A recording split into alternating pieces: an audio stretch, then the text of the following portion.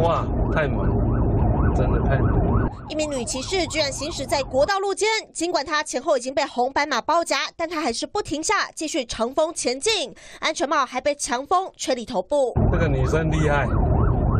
哎呦！女子油门加速猛吹，甚至钻进车阵中，直冲内线车道。地点在国道一号园林路段，女子狂飙四十三公里，一共四台警车在追她，超惊险。网络流传这段影像，但原来是两年前的事。超危险的画面，如今仍是引起讨论。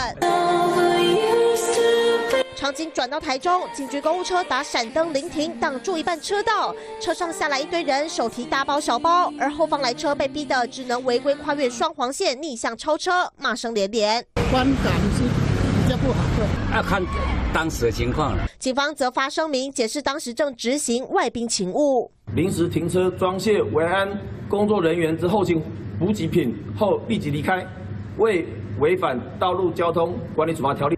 也是违规又危险的一幕，在台中三民路三段，这位妇人让人吓爆。我要不要叫一一九？那里都没有人理他。不是啊，重点是。妇人竟在车道上滚了四圈，最后直接躺地不动。路过车辆通通减速绕过他。网友开玩笑说是被物流丢包，滚筒洗衣机。事后救护车到场，妇人则自称有癫痫病史才会倒在路上。还好当时民众车速都不快，要是来不及反应，妇人恐怕会魂断轮下。记者陈胜、黄翔富、王世涵、彰化台中采访报道。我是王一众，新闻的产业带给我满满的使命感，不论是贴近民生的议题，或是国际的话题，我都能够精确、真实传达最完整的资讯给各位观众。当然，更多的新闻请锁定中视 YouTube 频道，记得按赞、订阅、分享，并开启小铃铛哦。